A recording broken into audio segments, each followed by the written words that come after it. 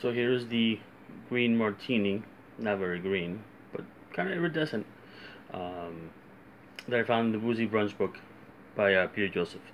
Um, the cocktail takes uh, one and a half ounces of vodka, I use Chopin, um, three quarters of an ounce of the blueberry green tea syrup that I prepped a couple days ago, uh, three quarters of an ounce of fresh lemon juice, shake over ice in a, in a, in a cocktail shaker, strain, pour into a chilled cocktail glass. Here we go.